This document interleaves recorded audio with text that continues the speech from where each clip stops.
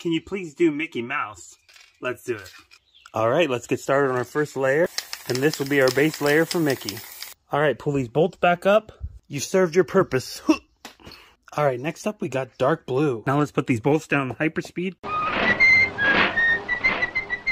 And fill all this in. All right, pull him up. We're ready for our next layer, which is red. Another one bites the dust. All right, this fourth layer is going to be tan for his face. Beautiful. Okay, Mickey, it's time for some shoes. So his shoes in.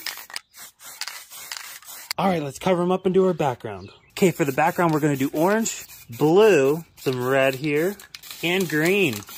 Now let's give him something to stand on. What happened? Wow, that turned out awesome. This was such a fun piece to make. If you guys enjoyed the video, don't forget to like and share with a friend, and have a blessed day.